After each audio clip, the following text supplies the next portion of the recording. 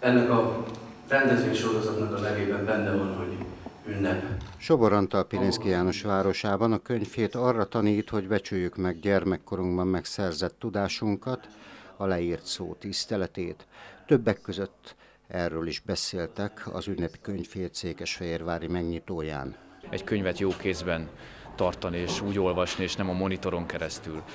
Jó a felvilágosításban is tud segíteni a város, és természetesen tud segíteni abban is, hogy néhány olyan kiadványt segítsen, támogasson, amely kiadvány önmagában érdekessé teszi az olvasást is, azaz az emberek a kezükbe veszik, forgatják, és Gutenberg után így a 82. könyvhéten is úgy érezhetjük, hogy a könyv bármennyit és bárhogy fejlődik a technika, az nélkülözhetetlen.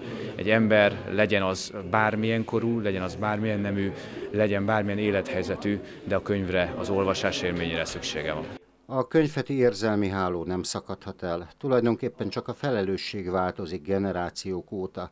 Amit nagyszüleinktől, szüleinktől tanultunk, nekünk kell továbbadnunk gyermekeinknek, unokáinknak. Mikor éppen a könyvet ünnepeljük, az olvasást ünnepeljük, akkor azt hiszem föltétlen kötelességünk azt mondani, hogy igenis megvan a becsülete az olvasásnak.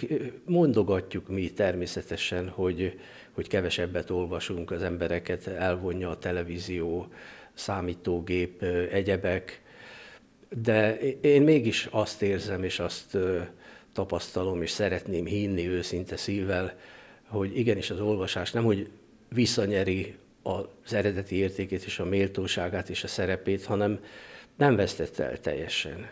A könyvfeti rendezvénysorozat nívós kiadványait lapozgatva egy valamit bizonyosan eszünkbe véshetünk. Talán nem csak ezen a hét napon, hanem a maradék 51 héten is többet kéne foglalkoznunk a Gutenberg galaxissal, mielőtt nem késül.